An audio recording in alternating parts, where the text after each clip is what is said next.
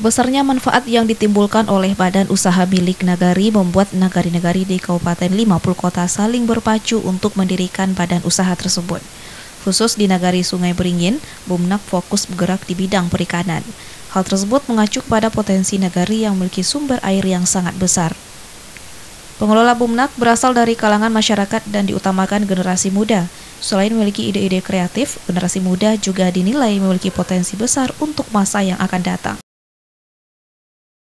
Untuk saat ini uh, kami masih memakai sifatnya swa, swa, swadaya masyarakat sekitar karena PBN nagari kami belum cair. Hmm. Jadi rencana kami di nagari Sungai Beringin uh, unggulan Bomnak uh, sekarang ini yaitu di bidang perikanan. Di mana perikanan ini uh, menjadi satu-satunya uh, faktor menarik di nagari Sungai Beringin. Kenapa demikian? Karena di Nagari Sungai Beringin merupakan sumber air utama yang mengaliri Kabupaten Lima Kota sampai ke Kota Payakumbuh. Hmm. Jadi di sana kami beranggapan uh, karena kita sekarang meneriakkan suasembada lokal berbasis potensi kearifan uh, potensi lokal maka dari itu kami salah satu potensi lokal kami yaitu al aliran irigasi.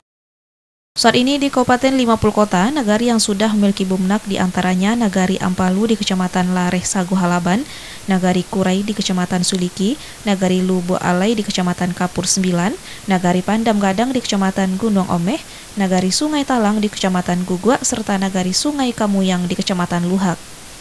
Dari Kabupaten 50 Kota, Alda Ferry, Padang TV.